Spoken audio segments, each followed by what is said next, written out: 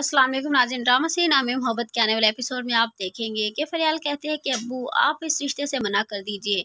जब आप देखेंगे कि उसका बाप कहता है कि बेटा, अभी तेरा बाप ज़िंदा है और ये तो किस तरह की बातें कर रही और भला क्यों कर दो रिश्ते से मना? तुम्हारी शादी उसी डेट पर होगी, जिस डेट पर तय हुई थी। पर फरियाल कहती है, लेकिन अब वो इतनी जल्दी, सब कुछ कैसे हम अरेंज करेंगे? मुझे नहीं लगता, मुझे लगता है कि जैसे मेरा साया ही मनहूस है। जिस पर आप देखेंगे, करीम साहब कहते हैं कि खबरदार जो ऐसा कोई भी लफ्ज़ अपने मुँह से निकाला तो। पर फरियाल कहती है कि हाँ अबू मुझे पता है कि जिस दिन से मेरा रिश्ता तय हुआ है, आपने सिवाय परेशानियों के कुछ नहीं देखा। कितना तंग करते हैं अब लोग।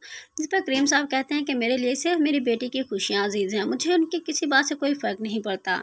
पर फरियाल कहती है कि, अबू, अगर आप चाहें तो इस रिश्ते से बेशक से मना कर दें, मैं आपको आपको तंग नहीं करना चाहती।